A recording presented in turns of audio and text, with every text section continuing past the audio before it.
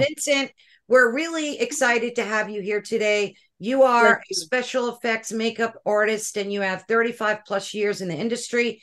And of course, I'm going to be letting everybody know what your website is and about your work. So let's start with Jon, though, because we did do the first interview with you. So, Jon, quickly give us a rundown. Why are we here again? And what, yeah. you know, give us some some background as to what brought you here. Yeah, hi. Uh, my name is Jon Stewart. I am the principal investigator uh, for the five year self funded investigation to find the truth. Very important, just to find the truth of the infamous and well forgotten 1997 Area 51 alien interview that was on the UPN network on a program called Strange Universe. And this was a special one hour documentary on that program in 1997. And uh, just, uh, just the elevator pitch 1996, a second rate production company, video production company in California, gets a bizarre call from a, a, a gentleman in his late 50s, 60s, from what we were told. And he says, I've got this three minute VHS tape showing an extraterrestrial being interviewed, interrogated in an underground facility south of Area 51 in Nevada. The film is from 1991. So they they bring him in.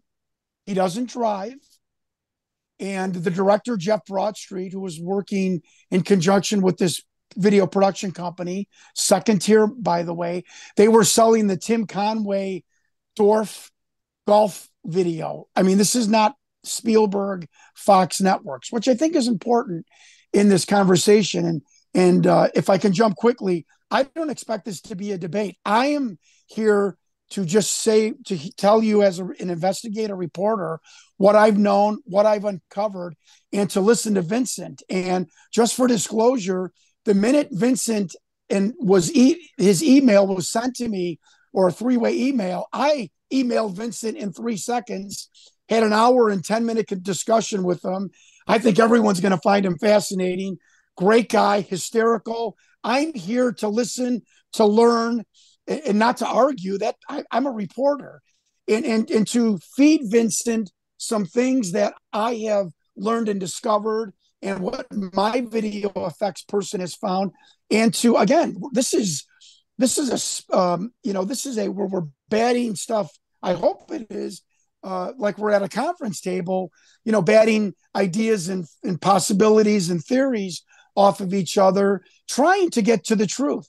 Right. And so I, I just want to be clear on that. I think Vince Vincent is a great guy.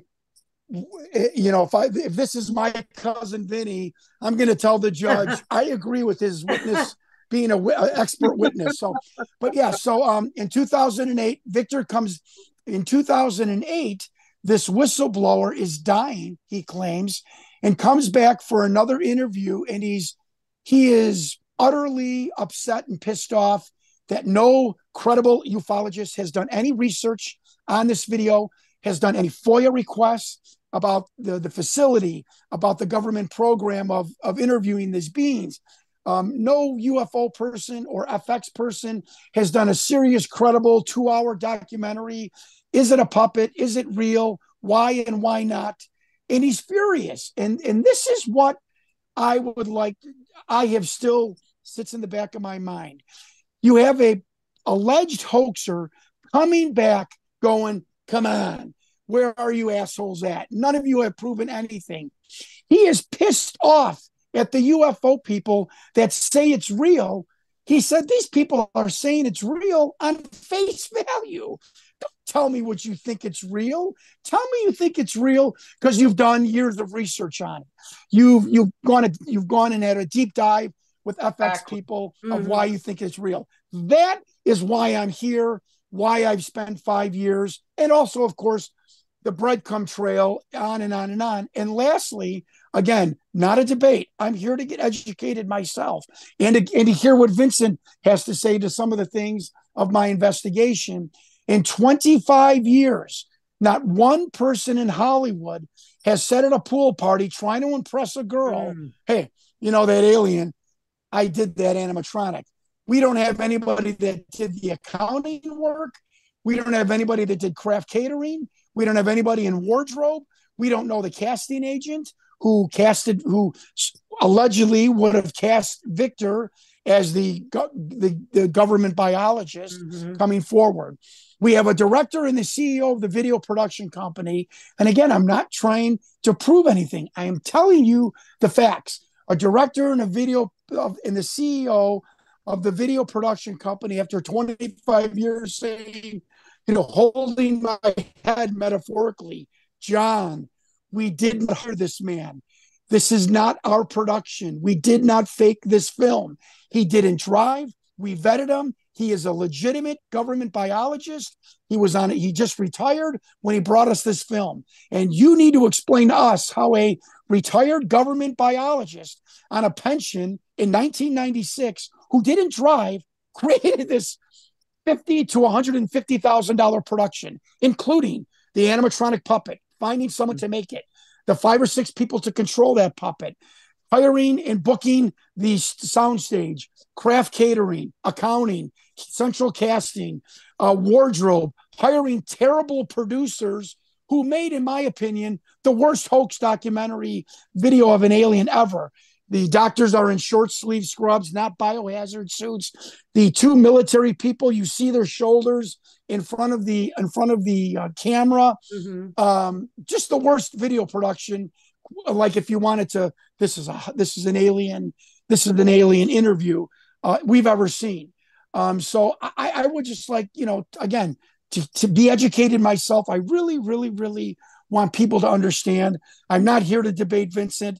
He's got way more experience in in, in this in, in, special effects, and I, I I think this is going to be fascinating if we can at least come to two solid possibilities at the end of this debate. Absolutely, very well said. Okay, thank Vincent, you, Vincent. Let's let's hear from you. What's your background and why are you here today? Why are we doing this? Um, uh, I have uh, been doing special effects um, uh, 15 years on the East Coast and about 20 years here in LA. Um, so I'm originally back from Jersey City, New Jersey, is where I was born and raised, um, and mostly did all my work out of Manhattan, New York, uh, and on the East Coast until I came out to LA in 2001. So that's kind of my background. I've done animatronic effects for uh, major films and independents and prosthetics and puppets. Um, you know, probably did um, arguably, and it's not an ego stretch here, uh, did animatronic wings for Dogma, which uh, for an independent film at that time was probably the, one of the best animatronic uh, angel wings ever done on film. Um, so, and I've worked with and, and have hired some of the best people in the business that have uh, also worked for Stan Winston Studios and for Rick Baker as well. So, um, not only my own knowledge, but of people that I've hired or have worked with. Um, um I have an extensive knowledge in animatronics um, and puppetry. Um, so the reason why I was here, um, two re- couple of reasons. I'll try and be as concise as I can be, and I won't try to ramble. And if I do, please hold me back. Is uh, first of all, I am a believer, 100% in uh, non-bio- non-biological uh, beings. I'll use the proper terminology. Um, uh, but uh, also, I've had experiences in my life when I was younger um, uh, one being one spectacular sighting that I cannot explain to this day with a witness. Um, and so I am a believer. So that's one reason why I'm here. Uh, second reason is anything that is going to fog, muddle the works with stuff that is not true, that is bullshit, um, or in any way is um, of a monetary reason, which is somebody puts out something so that they can make a buck um, or to even get their ego appeased because they want to become famous in the UFO uh, arena, which um, even though there's quite credible people, I'm, I'm, I'm a UFO amateur investigator myself, amateur, not well known at all. Uh, but I've been uh, not only my experience has been following this stuff since the 60s and 70s. Mm-hmm. Uh, and so since I was a kid. So anyway, I don't want any monetary things to get in the way, any kind of um, fake information getting out there, because if the real information comes out, it muddled with fake information will make it that much harder for the real information to be proven. So that is that is one of my my things. The other things were, and no, I don't want to go into a debate with Jon. I talk with Jon. Jon's a great guy. Good. Vince, Vince, that's a Vince, that's a great point. Thank you for making that. Very, yeah, no very, problem. very true. Yeah, and, and the other the other thing is, um, is that when he talked about certain special effects and what years and what's capable or not capable, Jon was not in the, in the proper knowledge of that, and he seemed very um, um, um, aggressive in those opinions on the two podcasts I've seen him on, which is Redacted, as well as yours, right? Uh, that we're on right now. So that got me more pissed off than anything else. So I, um, it's my East Coast side to me, and I was sort of like, "Hey, that's a throwdown. That's wrong. Uh, this guy's got to know he's wrong. This guy's got to stop saying this stuff." And and it bothered me because I don't want anything that is not absolutely true out there. Um, so uh, on, on, those instances, it, it, it bothered me, and then me and Jon had a phone call about what cables were properly done in the neck and why this could be done. First of all, uh, to break the tape down that I've seen, I've seen this over the many decades. Uh, there was one thing that fooled. Oh, wait, me. can we wait? Can we stop here, Vince? Vince, sure. Vince, can we stop here and like let's yeah, I, I, before we start breaking it down, um, Carolyn, can I like ask like a open question? Absolutely. This is oh great about you guys, so take it away. Yeah. Okay. Okay. No. Um. So again, folks, you're getting a bird's eye view of an investigator and an expert. So, Carolyn, this is fascinating what you're doing, by the way. And and I just want to clarify one thing. I was lowballing figures of recreating that doll based on what five animatronic experts said to the rocket pictures in that documentary and what people have told me from one year to two or three years ago. Everyone kept telling me 60 to 70 grand on the low end. And people were telling Sean David Morton you know, 200,000 on the on the on the high end. Mm. I'm, I'm, Vince, this is what we were being told. Because um that it looked like a five-man crew of working the blah blah you know, you know, with the eye movement, the orbital socket movements, and the micro movements, and and and whatnot. So my my um my throwing out figures again based on five different people and and and I talked to the vice president, uh, a vice president of Disney animatronics division, who you know who who was in the seventy five thousand ballpark. So forgive me and believe me, thank you, Vince, for saying that we had a phone call because that gives us both credibility because we're not shying away from anything. But th- that is why I threw out those figures. So so that is what we were told by five different people, not one. So I I absolutely stand to be corrected. And and again, um, Vince told me on the phone, Jon, I, I think I could do this for twenty thousand dollars. So we've got a whole new scope of holy shit. You know, this, you know, maybe a second tier video production company could do it, but that would call in the, that this director and the CEO, who's a Broadway CEO now, Broadway shows is a complete liar. I'm just saying. So let me just, so I wanted to get that clear. So, Vince, let me ask you this. I am asking you, open ended question. I don't know the answer. But, well, okay. Well, answer the money question. And I want, I have a really good starter question. Go ahead. Um, all the quotes that you just said are absolutely 100% true. Okay, first of all. But, okay. If you took a certain artist out of the out of the equation, the group that he's working for in a company that would charge that, and he had to do it on his own okay. with a friend. And he's a talented okay. sculptor and experienced. He can make okay. a beautiful sculpture, which the alien is a beautiful sculpture, in my opinion. Where it fails is the puppeteering for me. And it doesn't look real to me. That that's where it fails. Now the cost issue if you took a person out of that shop and said, "Hey, I'd like you to do an alien. I know you work on all these big productions, but we're going to be doing right. this alien autopsy type thing. or interview. Right. I got about ten or fifteen thousand dollars. Can you pull it off? Okay. Most people, if you were to ask them in a special effects field, as individual artists, if they could do it for that much, like And a side hack, a side job, basically, right? exactly. That's Yeah, what I'm getting at. Side Yeah. job mentality. Sure, we No all do. problem. Yeah. If you go to a professional studio and go, "Hey Disney, how much would you charge me to do this alien?" Right. You're gonna go, "Well, you know, not only do I want to put you know a new swimming pool in my backyard, but maybe go on vacation and pay my guys my overhead.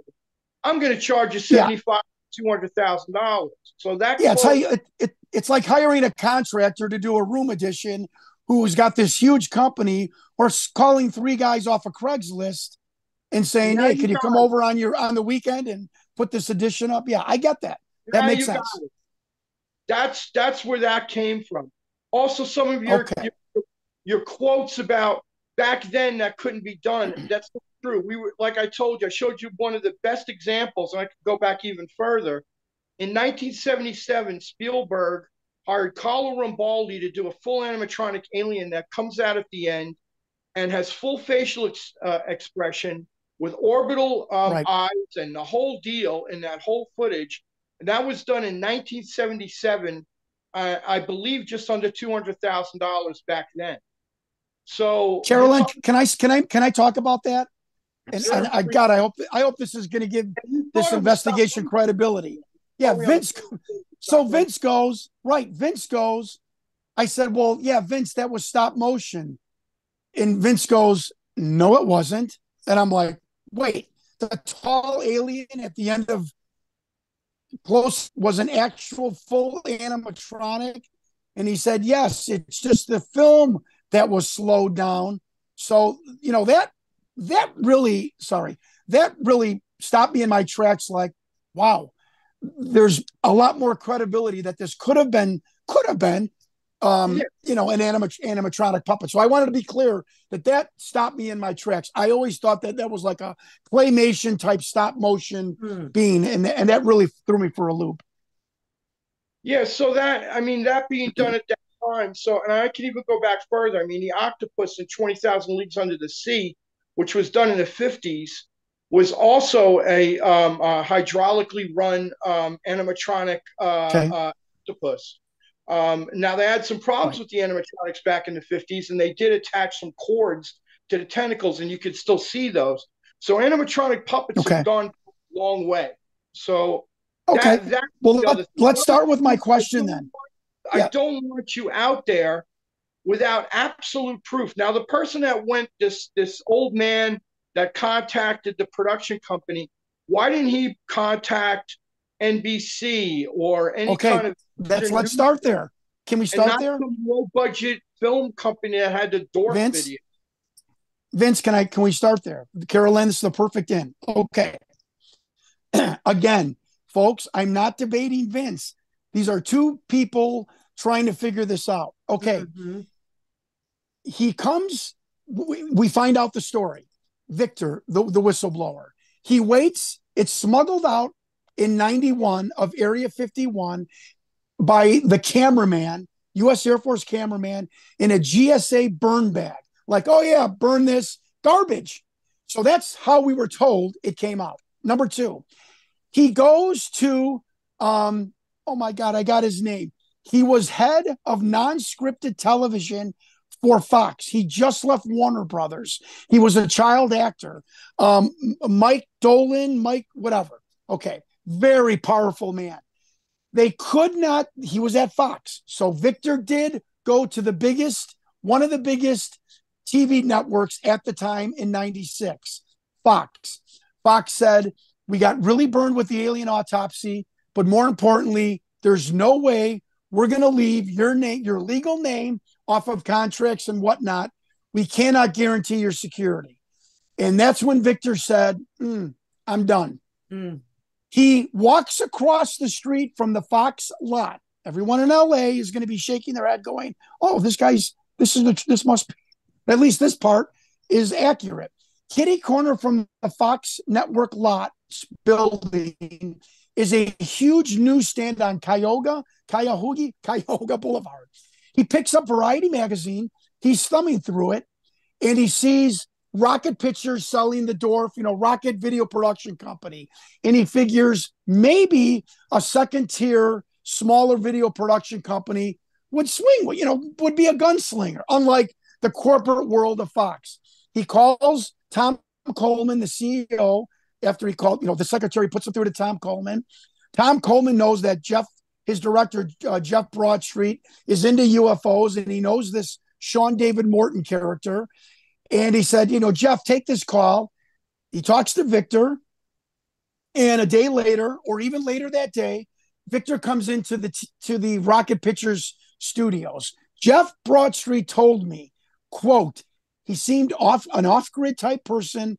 And Jon, he did not drive. And he produced a tattered uh, social security card. Okay, those are the absolute facts from two from three men: Tom Coleman, Jeff Broadstreet, Jeff Broadstreet's gold bond, his word, and Sean David Morton. Mm-hmm. Vince, here's my question, Vince. Could somebody like my father, an automobile dealer in 1996, let's say, how would he go about contacting an animatronic person? And then, again, I'm asking, this is not a gotcha question. And then, how would he go about coordinating? Remember, he's a biologist from the government. Jeff Broadstreet said for a fact he vetted him. He's a government biologist on a pension. How did, again, not a gotcha question, how do you think he rented the soundstage, craft catering? You had to feed these people. It's union. You know, the casting call. He had to have he had to have wardrobe for the doctors, the military men. The general on the left is clearly a class A army dress uniform.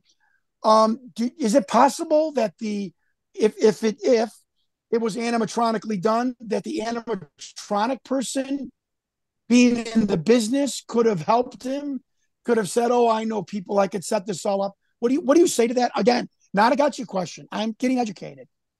No problem. No problem.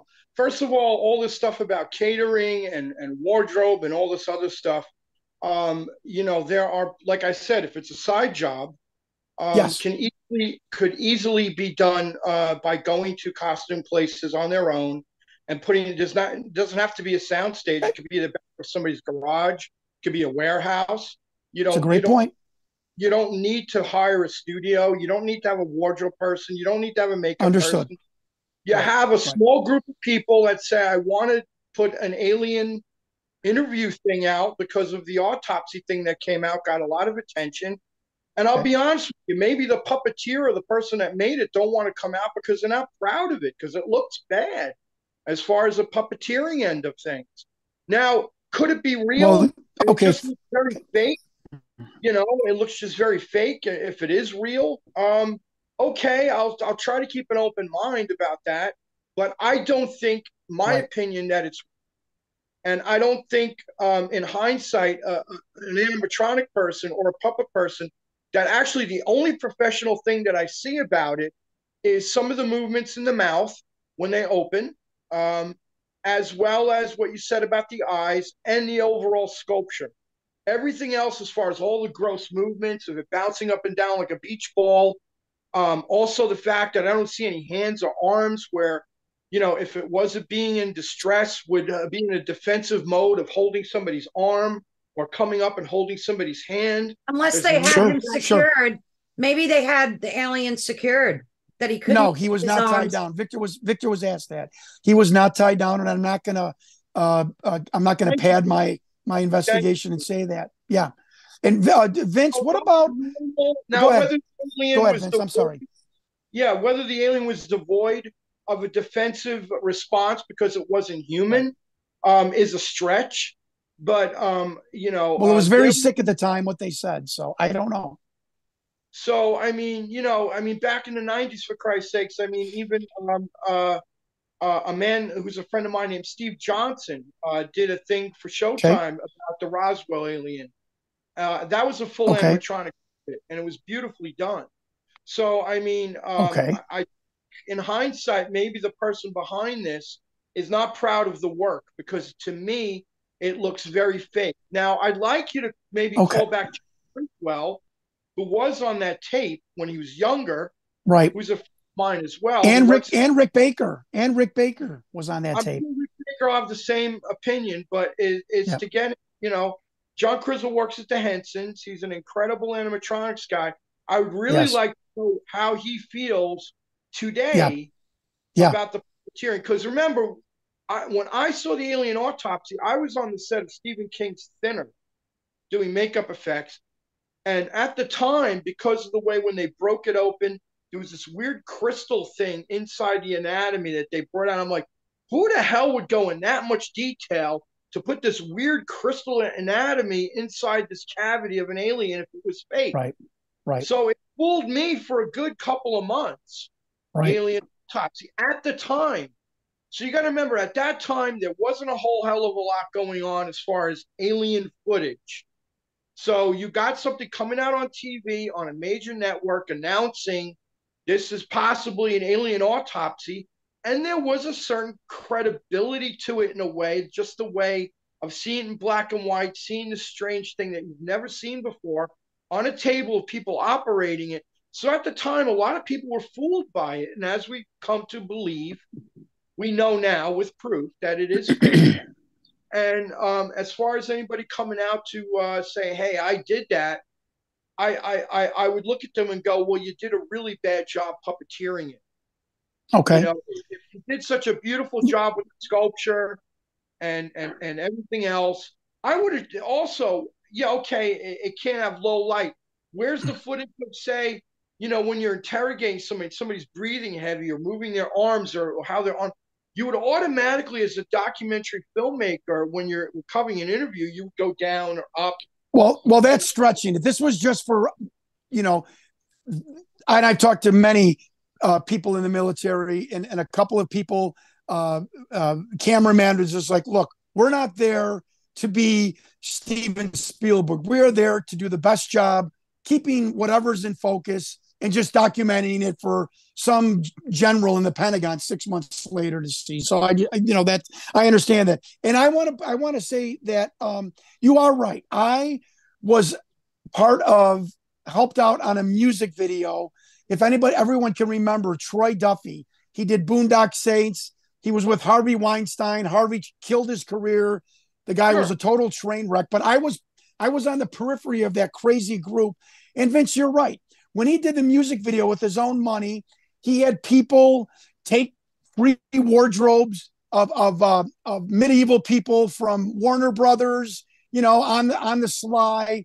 He got uh, he got a, a, a catering company for three quarters of the price because he was going to pay him cash. And you're right, the Hollywood people did chip in to help him on the production. So what I just want to tell people what Vince did say about that, about the the, the side gig aspect to this, I I can say for firsthand he is totally true. Vince, I know you're not an I know you're not a a biologist or um, an, an anatomist. We are told that the the neck of the being of these beings rather like humans at the back of our skull is in the middle of the skull and that they are used to a lighter gravity than than the gravity on earth. I know you're not a biologist or an anatomist.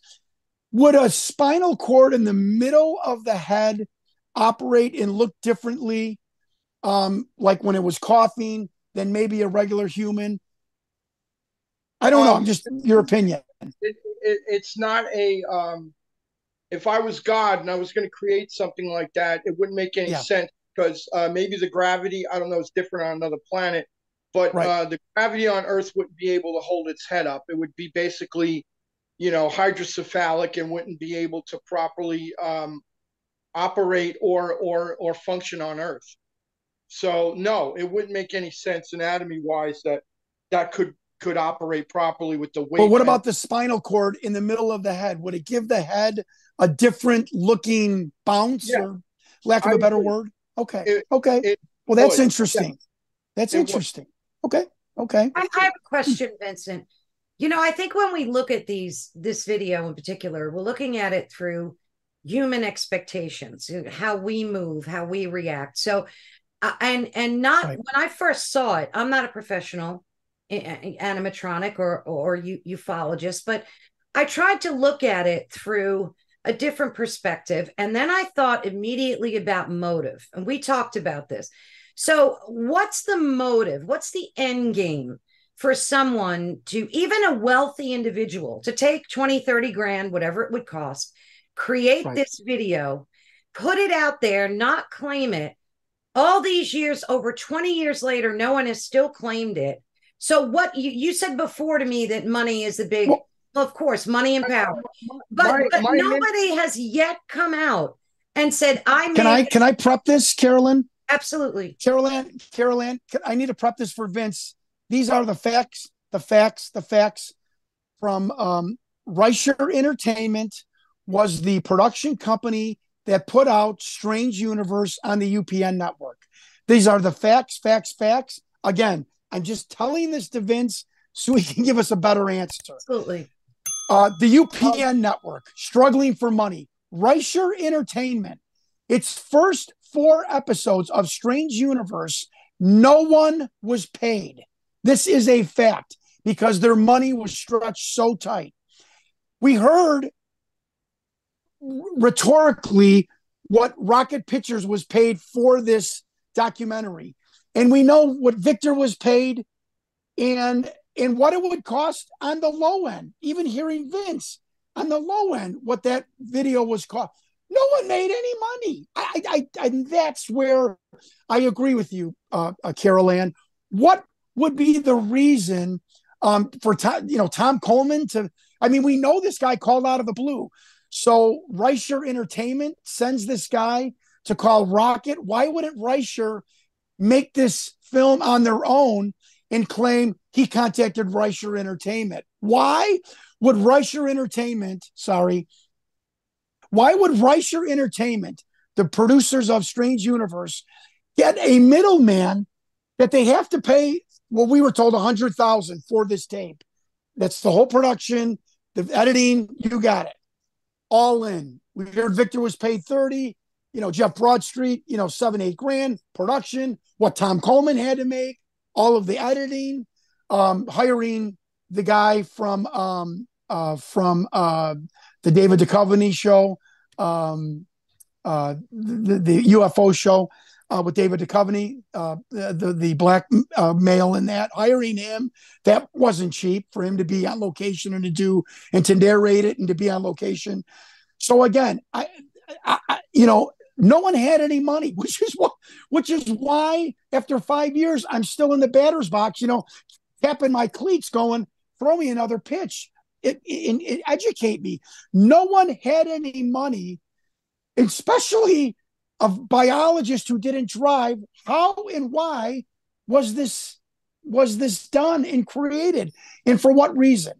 That's uh, it's a great point. And I don't Go know, ahead, Vincent. Vince, not a gotcha question.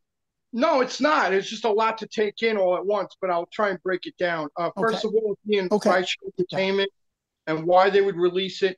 Fox Entertainment released a fake alien autopsy film and probably played, paid a good, great deal of money for that. That went to um, um, I forget that main guy with the glasses that put it out. Um, um uh, his name Santilli. is Santilli. Santilli. Thank oh, you. Bob the, something. Bob, yeah, right. and then the, the other producer was Bob correct. something, and yeah, yeah, correct. Santilli. So uh, Fox Network released that, and and uh, right. w- what it's all about is ratings and money.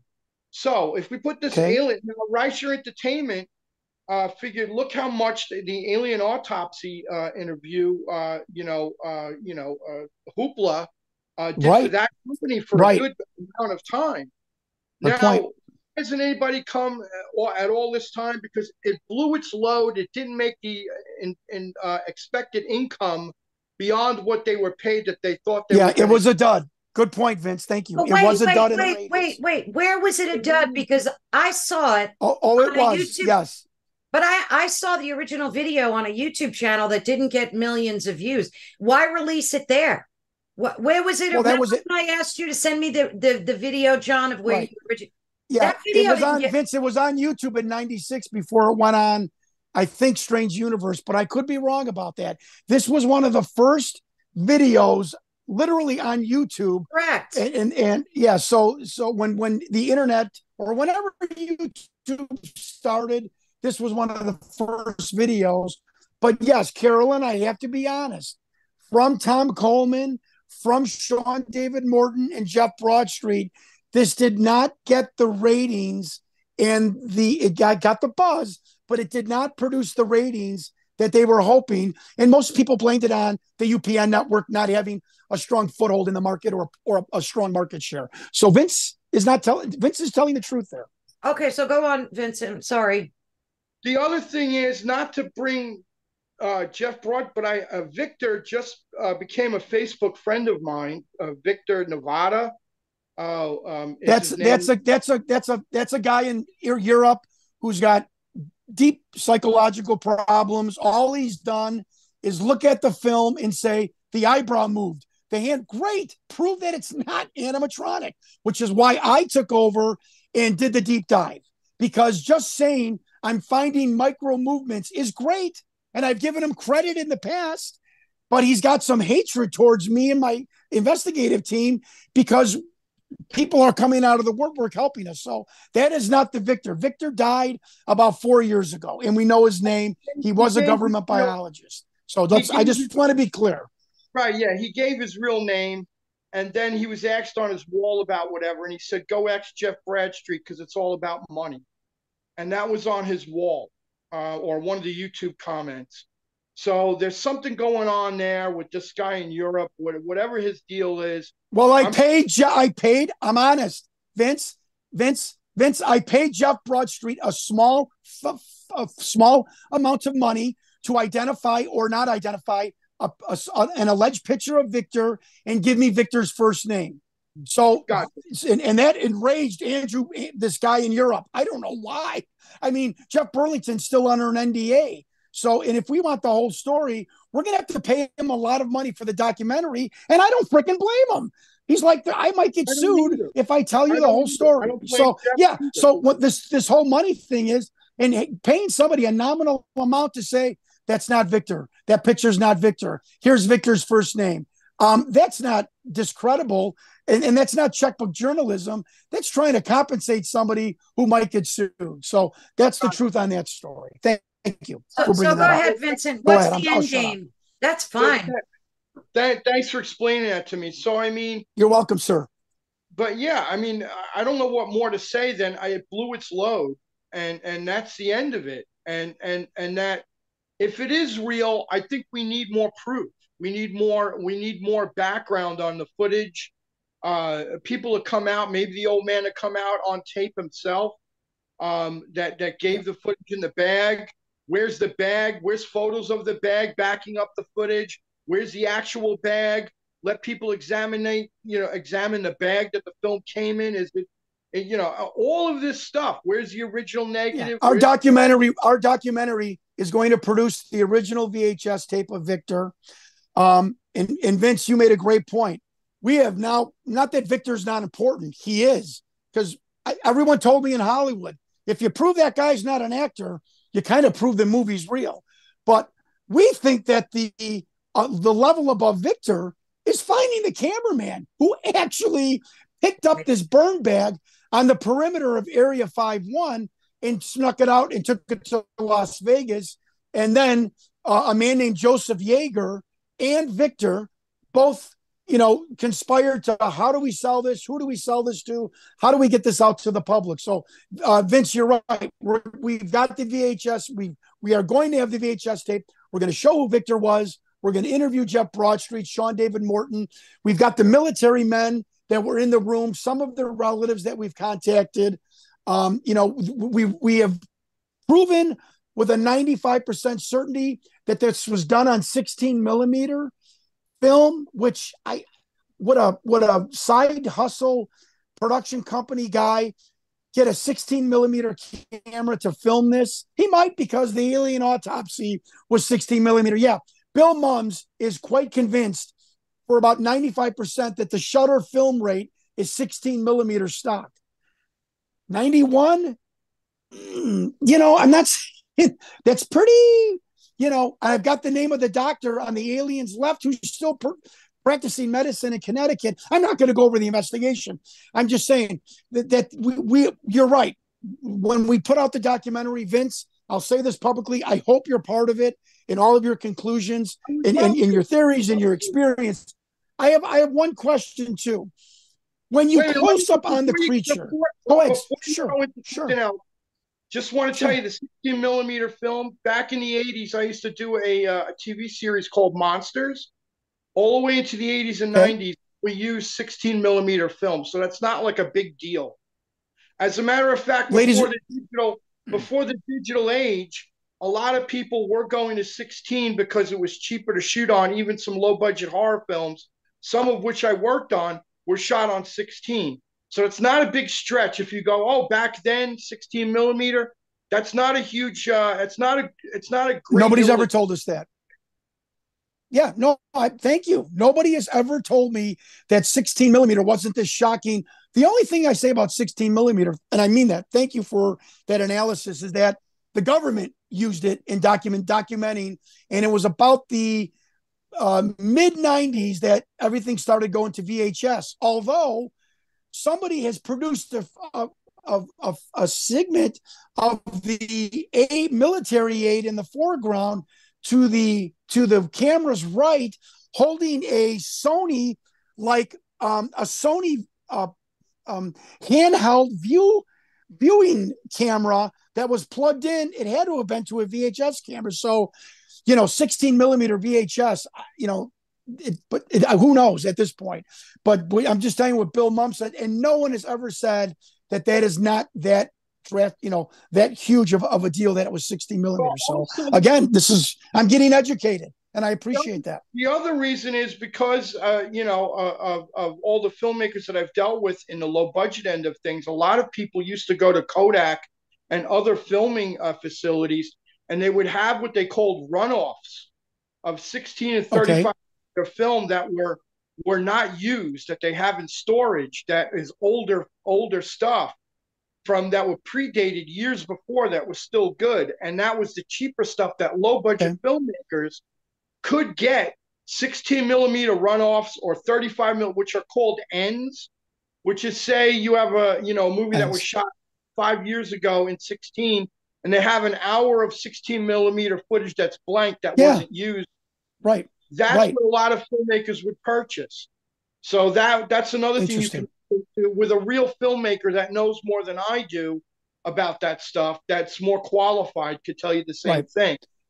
But I would love to be a yeah. part of the documentary.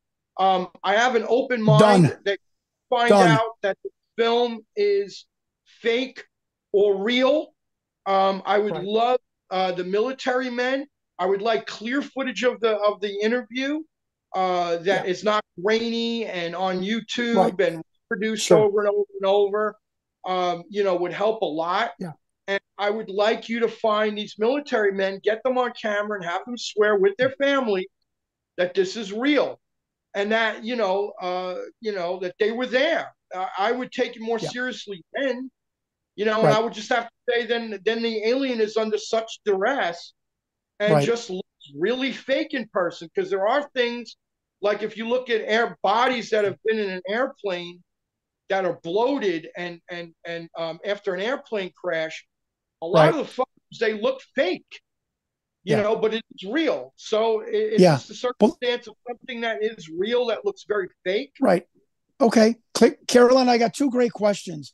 These are again, uh, uh, I think this is this hour has been really fascinating, and and I hope people appreciate it. Vince, at the end, the creature's bottom lip does a uh, and, and forgive me, but this is a common term in America, a resting bitch face. You know, you know, like this. Um, I saw it. So, so what you can do the if if it was remote controlled, you could position the RC cables to bend. Am I this way going this?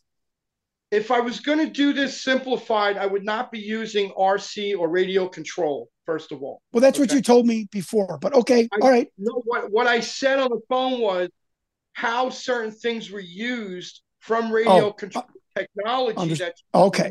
Technology. One being Understood. goldenrod, goldenrod cables. which are very, very Oh thin cables that were used in RC controlled airplanes. And they were translated to puppets. So I would make a cable control, which is a push pull type of mechanism. Okay. Also, there are things called self contained mouths, which Rick Baker made popular on Greystoke, which is you open the human mouth and it was without any cables that are attached outside. It's no no cables at all, by the way. Um, there's only cables around the mouth area, and when you move the bottom jaw, there's a wire or cable that's attached to the top lip, and that would actually make the bottom lip furrow and the top lip come out, which is called a self-contained mechanism. So Wow. that is one way. Wow. So one animatronics person Okay. that's smart and adapt to that stuff can do that, as well as just with a cable, which is gluing goldenrod cable inside the mouth, and as the mouth opens, he can make the the top lip with the cable glued right behind the lip and make it snarl, make it uh, collapse, make it close, make it open. These are simple Yeah. mechanisms of a somewhat uh, professional or or semi-professional person could have done back then to make that movement. So it's not an, impo- it's not an impossibility. Is what I'm saying to you. John, Yeah. No, first- interesting. in our first interview, you talked quite extensively about the heart monitor. And that that Yes. thing fascinated me, especially when you went to people in the industry and they said it had to be created. That's right. So let's just talk Right. about that for a minute or two. I mean, I know it's outside. Yeah. And I'm going to, oh, I can't believe, no, I can't believe you brought this up because, again, I want to be a credible journalist and investigator. And I want to tell Vince what heart monitor specialist told me. And I want to tell Vince what an FX person told me because I have no credibility if I if I hide one person or okay. So Vince, this heart monitor, we we did realize it's not a pane of glass. Bill Mums from National Geographic got it where he we see metal around. It's an actual thin box, and there's a bullet, a protrusion like a bullet. And we we said to ourselves, my team, we sat there and said, if you're making this hoax video on the cheap, why are you putting a protrusion, the the shape of a of a, a cartridge of a bullet, on this thing? Unless you really needed to put something in there. So it's a real device box, and three PhD candidates who did a two year history of physiological monitors said, We have no idea what we are looking at. I called Space Labs at Hewlett Packard. Space Labs made monitors for NASA. Hewlett Packard was the other company making uh, my, physiological monitors in the 80s and 90s, the only two companies mass producing. Both engineering departments. One emailed me. I got a 60 something year old crusty guy on the phone from Space Labs. Hewlett Packard said, we, We've got seven engineers looking at this.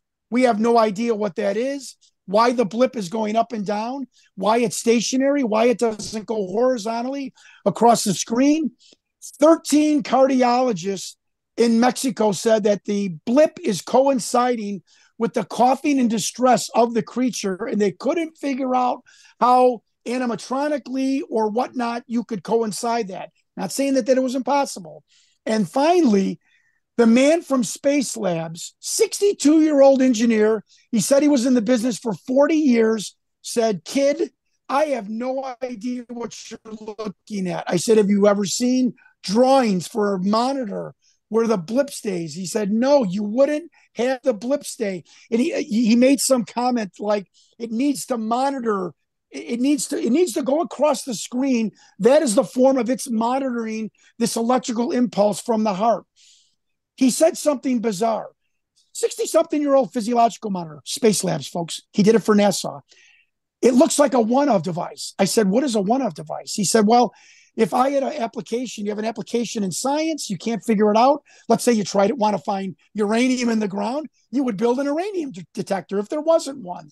I said, Would you build a one of device if an alien from another planet had a weird heart, lung, one organ, and a regular heart monitor wouldn't work? He didn't laugh at me. He didn't hang up. He said, Yeah, I, that's exactly what I would do. You'd have to build a special monitor to monitor that special type of organ. Um, and and I said, You've never seen this on a drawing board. You've never heard about it at a trade show? He said, Kid, I've never seen this before. I went even deeper as a journalist. I talked to two salesmen that sold physiological monitors for 20 years. I said, Come on. I know salesmen sometimes know everything about everything they're selling. You saw it at a trade show. You heard about it. Um, you saw it on a sci-fi, you know, on a sci-fi movie.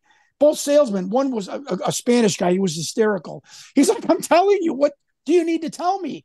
I've been selling these things for 30 years. I don't even know what I'm looking at. It's bizarre. And the blip is this greenish white thing. He goes, Where did you get this? And I said, On, on, on an alleged underground government facility. Said, I don't want to look at it anymore. I don't want to be part of it. He goes, All I know is in 30 years, I don't know what the hell I'm looking at. So an FX person said, You could get a laser, put it on, Vince, help me with the vernacular, a servo, and tap it up and down and it would go back down as you tap it. And that's how you could create the blip where it's not going across the screen. I, now yeah, I recreated um, um, that experiment with my daughter, and the laser kept hitting the other side of the wall. Uh, we did it on a, on a piece of glass, and the laser could kept hitting the wall, and we're wondering why the laser was not hitting the beam. Like, and and so, but but we didn't put anything behind the glass, so that's what an FX person told me. A laser, possibly on a servo. Go ahead. Um, yeah, I mean, who's who's ever involved in, in this thing? If they were, if they got the puppeteer guy, they could have had a creative prop guy come in and and and build something yeah. specifically for the scene. And that's my only that's my only retort. I'm not a specialist with monitors. I'm not a specialist right. Understood. In, in kind of medical equipment. So, um, and I would have to look at it again, but what you said, yes, yeah. can be reproduced. But um, um, as far as you're doing a test, you and you just you just exposed how you didn't do a proper one because you didn't have it. No, I didn't. Glass. But I tried to see. Yeah. yeah.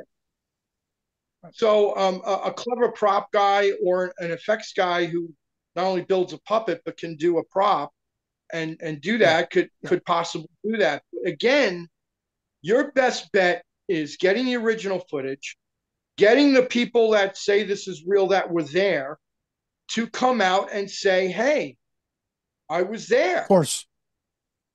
Yeah, exactly. You know? Yep. And then you'll get Joe Rogan or these other people that you're you're you're vying for to be credible with. You know, a little right. bit you'll be taken a little bit more seriously than some old footage that was debunked already in the 90s that you're trying to push off right now is real. That's a hard. Well, you say it's debunked. Hard... Can you tell me who debunked it? Like, Rick, I don't. Somebody said somebody from Santa Barbara, Cal, University of California, Santa Barbara, debunked debunked it. I don't ever remember hearing that anywhere that somebody like literally piece by piece debunked the film, well, no, other than affect people saying it's fake. If I wasn't, if I'm being a little flippant, I, I what I should say, okay, taken, okay, not taken seriously back then because right. Rick Baker yeah, was I, the best in the business. Didn't believe it was real. Is the proper vernacular? Yeah, I have P- I have PTSD from Victor, Nevada, in Europe, who everything has to be specific and you can't mince your words and you can't generalize. So I have PS, PTSD from that dealing with him for a little bit. So yeah, I apologize. I, I totally I, get what you mean. FX people saying have, it looks fake. Skeptic friends about David Grusch yeah. aliens and and and David Fravor's right. reports and breaking it down with Mick right. West and and the arguments right. are endless with Mick West and and I yeah not and I don't get uh, PS. Uh, I don't get. Uh, I, I, get um, aggravated. My East Coast anger temperament comes and goes. All right, you just right. don't believe it. Fine. You know, you don't believe it. You need to see the alien sitting down in front of you drinking tea. Right. I get it. That's not going to happen. All right. Even if you had, even if it was on TV, that's not going to happen because you would say the government made a, a deformed monkey in a lab and came out and said it was an alien. You know, so there are some people that are right. so educated, right. you're not going to get through to them. You either believe yeah. it or you don't believe yeah. it. I believe it.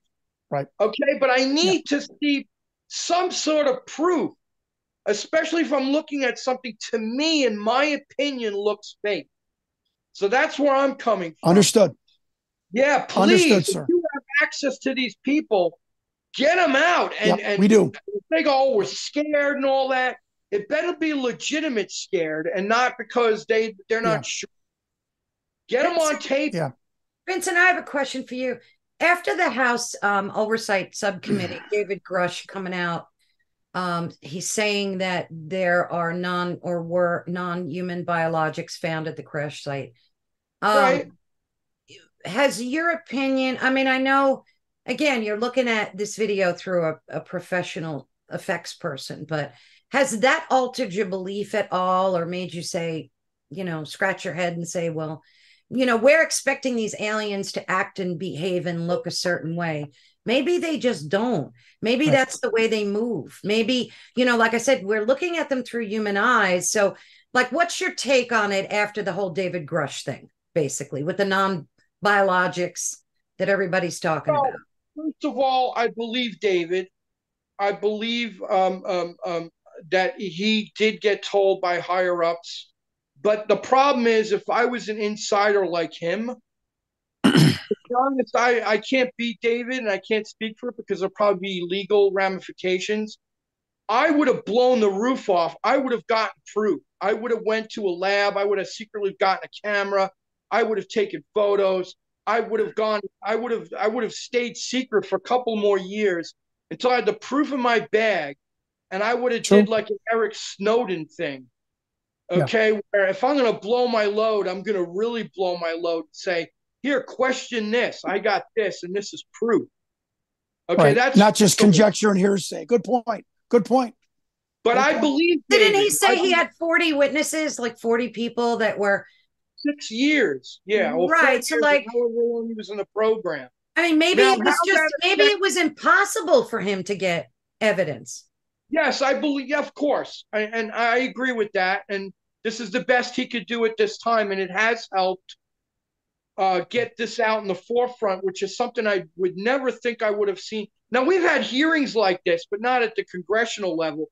We've had hearings about this, about the you know the military generals coming out saying we were in charge of a nuclear um, uh, missile base, and our stuff was shut down by a a UFO that was parked outside of our military base. They had a whole hearing with those guys, right. and they were ignored after that came out. Mm. You know, I mean, there are tons of old whistleblowers that have way more stuff going on that even Grusch had. And the only reason why it's taken seriously now is because of that Time magazine, uh, Time, uh, you know, uh, um, uh, New, New, York, Times. Times. New York Times. Yeah, and now with all of this new stuff, so David is an old yeah. whistleblower in my books. And Amen. And, and there is Vince. finally does come out, I'll be like, yeah, no shit, guys, they're here and they've been here. You know, I, I come on. Carol Ann, Carol Ann, can I back up what Vince just said? I, I told this on the Matthew Cox podcast. He Vince is so spot on with, oh my God, a member of the of the government is coming clean about aliens. They've been doing that since like 55. Right. I mean, how how many how many senior citizen men and women sitting on their porch, retired in Iowa or Montana, wearing flannel shirts with years to live, with nothing to lose or gain, look in the camera since 1955 and tell the American public, um, I saw the craft. I loaded the bodies. I was at the autopsy. I touched the metal. I looked inside. I flew the bodies. I bum, I saw the video. I saw the film. I've seen the paperwork. My but how many people who are senior citizens, total salt of the earth credibility, has to have to come forward for the past 70 years for people to wake up. And Vince is right on the money. Vince, uh, David Grusch, David Grusch is on a line of, of 100 people. Intelligent yeah. people. I mean, it's so, yeah, yeah they're all nuts. Yeah. It's all swamp gas. They're all on drugs. They're all desperate for attention. Right. While they're dying in their 80s yep. and 90s you know, it's ridiculous. If exactly. you want Grusch wrong, give him the SCIF, give him let, let him pass on the information that he said he would get right after the hearing. But no, his clearance was refused. Why?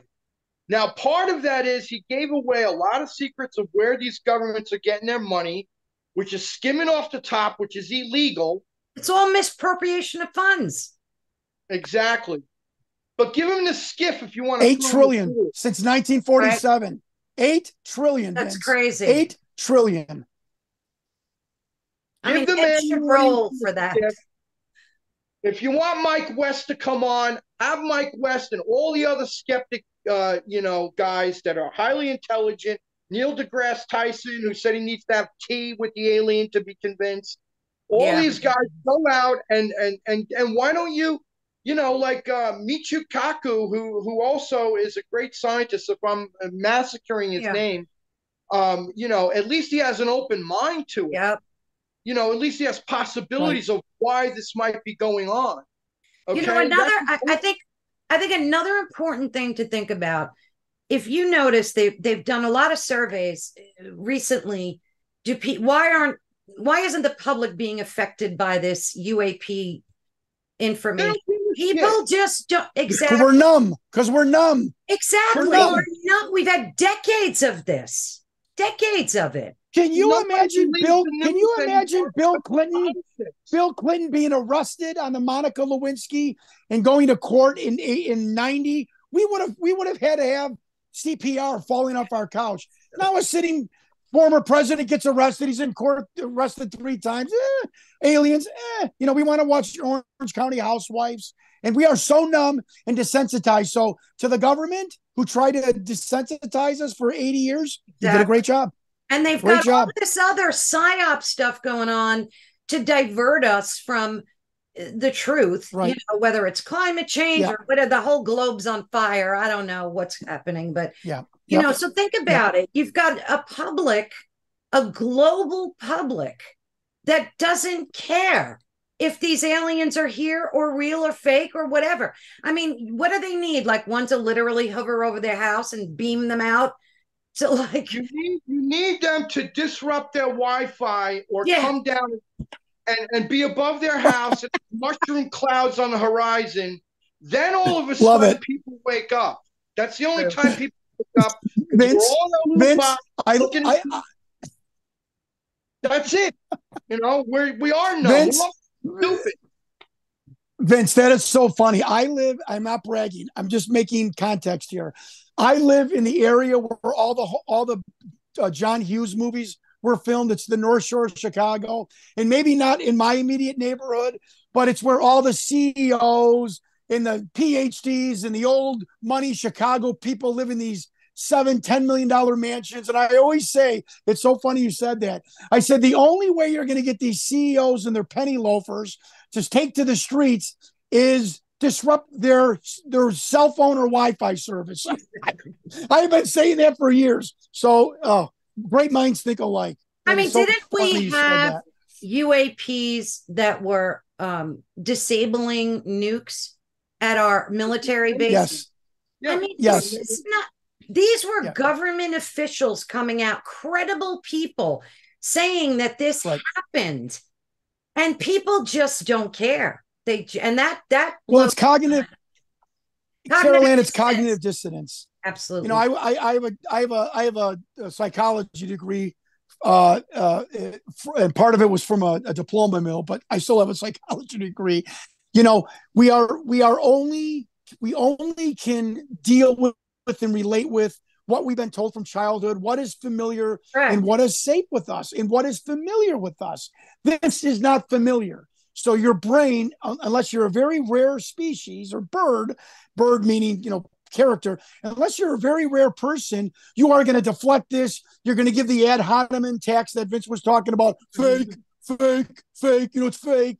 Um, you, the, the, people's brains are not going to let them absorb. Yet, I find it funny. Somebody laughs at aliens are real, and then on Sunday go to church and listen to stories from the Bible and the Quran a Catholic school altar boy, so I I can say this that our these stories in the Bible are wild mm-hmm. giants and and you know something being the world being created in seven days and and Moses and Jesus appearing for four days to the to the disciple. I mean, wild stories. We believe those from people from 2,500 years ago.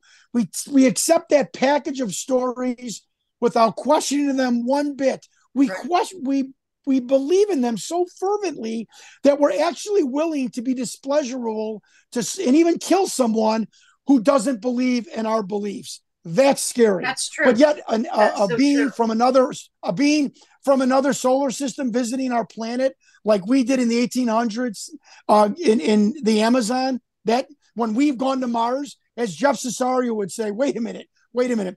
We've gone to Mars. We have a craft that has left the solar system. We can't even thin out traffic at a Dodgers game. Right. So if we can do it, yeah. certainly societies a Right. thousand years, ten thousand years ahead of us can send, you know, craft to this planet. Give me a break. Well, I'm gonna I'm gonna say I'm gonna say something a little woo woo. Um, when I first saw that video, I, I, I'm an empath and and I read people like spot on most of the time. When I saw that video, there was something in its face. I can't put my finger on it, whether it was an emotion, an expression, something, Vincent, that Yes. gave me Yes. the Thank you. chills. And I'm not saying this because I'm Jon's friend and I interviewed him. I'm telling you, as a person who knows how to read people, done it my whole life, there was something in its face. So if the animatronic people, whatever they did, an excellent job at displaying this, or if this is a real alien, Yes. I believe it's real Thank you. because it had some nuance of pain, of fear. I felt something from it. Jon, I don't know. You can speak to that. Carol Ann, you zoom in, you you zoom that creature's face at the end of the film. Five out of seven people say, Oh my God, he looks exasperated. He goes like this, like this, like, oh, thank God this is over. An animatronic guy is Well, embarrassed. he of thought that? of I'd everything. say, I'd say that's the greatest animatronic person in humanity. You took a puppet from 91 and conveyed exhaustion and and and, and exasperation. Well, hats off to you, buddy. Or, Yeah, and then when it was in 'cause I, I don't know how they did that. I, I agree because when it was in distress, I was like at the edge of my seat, like when I watch somebody getting beat up or something, Yeah. and I'm feeling this Right. empathy for this Right. creature. And it was just, it blew me away. Well, I mean, We um, showed an EMT or Sean. Wait, wait, let me say one more thing. Sean Morton just showed the monitor to an EMT. He said, sorry. He said that, look, I don't know what that is, but that's some sort of cardiac event. So Mm. I, it- it's how they did this is incredible. And you're right. The, the, I saw exasperation and like defeat on that, in that Correct. being's face. So I, I'll leave it at that. So, Vincent, what's your take on that? Um, well, I mean, first of all, I mean, like I said, I pointed out a puppet that was done in 77 that not only showed um, um, astonishment, but a smile, as well as magic, as well as uh, being almost 100% believable to me. Do you have that footage? I would love to see that. Yeah, I sent it to you in, in emails and and um, and you, and maybe another podcast you can show it. Okay. Um, also, um, I've made crap walk for Kevin Smith's Dogma. I made a crap monster walk. I made him smile, express, faint, flutter his eyes, curl his lips. I mean, you know, I mean, But- these are all possible when you go, all right, the alien is choking right now. We need to open its mouth, have uh, its eyes roll Right. up in its head or whatever. And that's what's part of the performance like an actor does, a puppet can do that. Now, that's probably one of the strong suits about the puppet that in a close up, it could look that way. If you believe it's real, I'm not going to sit here and try and convince you no, otherwise. no, no, no. no. I'm just okay. What about No, no, we're not. We're just saying, making a point. What Yeah, about no, no. robots? It's a When, good when point, it's a good point. what about the I'm- robots though that they make today?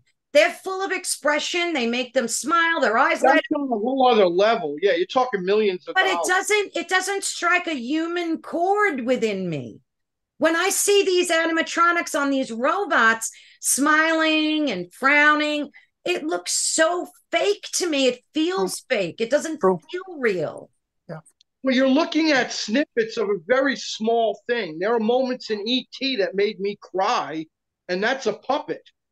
You know, I was sitting there crying Yeah. about a puppet dying when he was in the hospital with uh, with uh, Henry Thomas.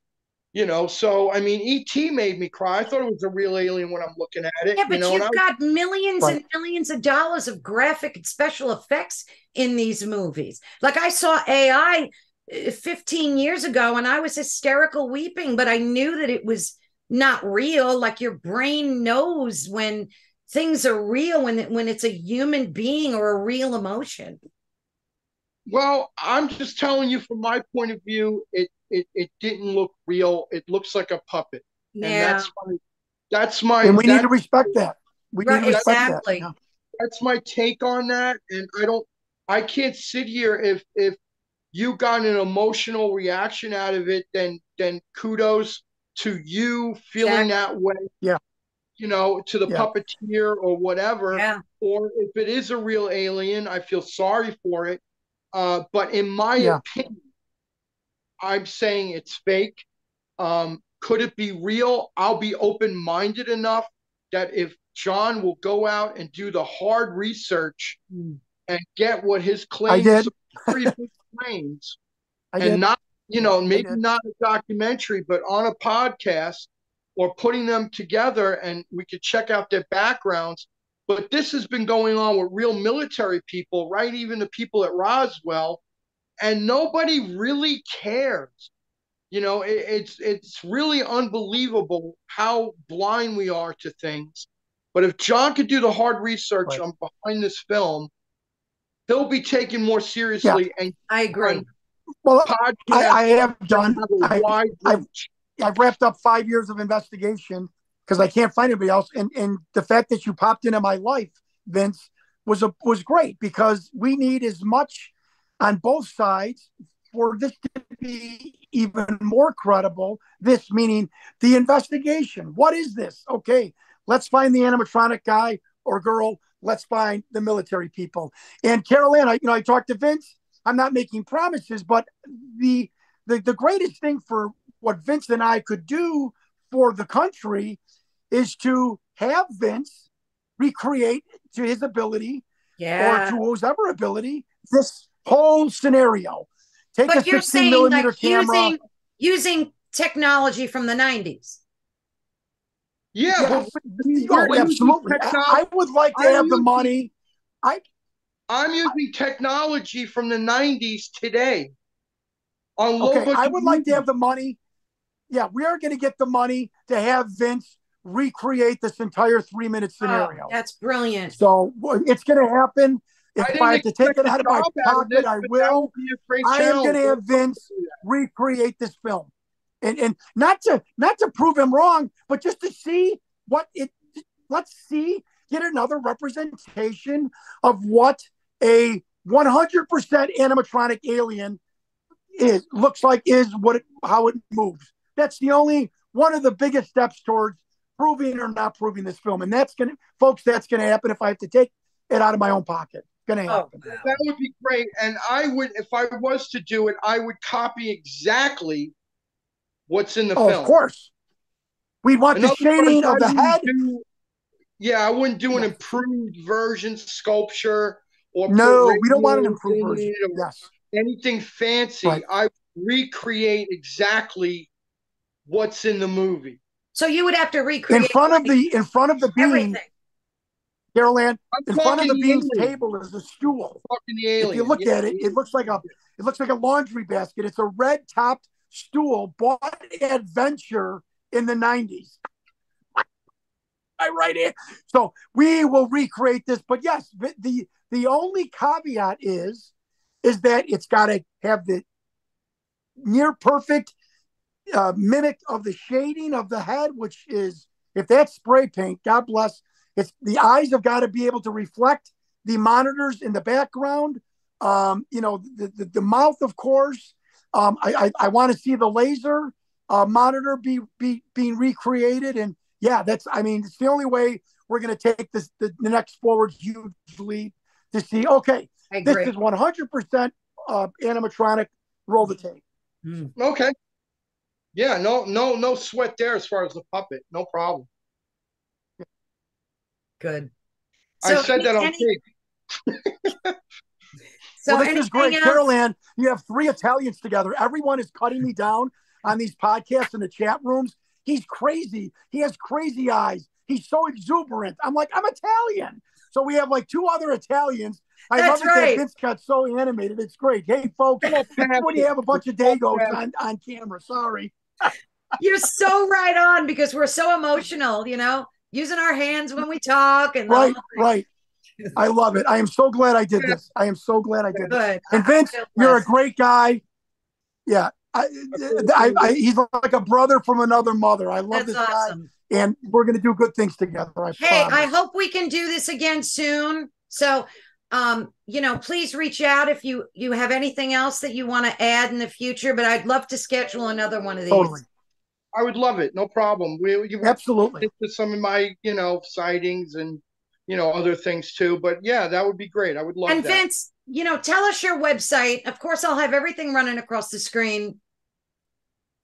It's uh, vgpeffects.com. And your work is incredible. Thank you. And that's spelled Great. with- I've been on it. It's awesome. yeah, it's spelled with an E F F E C T S. And of Dot com. course, I'll I'll have it running. I'll have it running across the screen, Vince. So, Great. Um, okay, thank you and- both and so Carol Ann- much. Yeah, My my website is huntingvictor.com, built by a guy I hired from Fiverr.com. So it's still under construction. is this Bear new? Because I don't You know, think it's you Jon had. Stewart. You know, I mean, I have ADD. You know, you got to see the website. It's like a four year old did it, but we're getting better. And You're I got the guy on Fiverr. So, because, you know, I'm alligator arms, Carol Ann. You know, I don't spend money very easily. So, I so but make sure. huntingvictor.com. Carol, if you want to put my email, please feel Awesome. free. Oh, I Thank can you do so that. much for having having us on. I can put your email, Jon. That's okay. Oh God, yes, yes, absolutely. Victor, how about you? Are Yeah. you okay with email out there or no? Uh, Vincent, no, no Vincent, I- email, please. Yeah, because uh, I, I I got enough barrage in me. But, Yeah, I but yeah, can imagine. Is my there, a, con- is, and there, everything. yeah. is there a contact on your website? I mean, can Sure. people, okay, Yeah. that that'd be the that'd be the place then. Thank you and God bless you both. This was fantastic. Awesome, Thank awesome Thank job, you. Carol Ann. Thank Great you. We'll job. talk Thank soon. you. Thanks, Vince. Bye bye, guys. Thanks. Great seeing you. Bye bye. Bye bye, guys.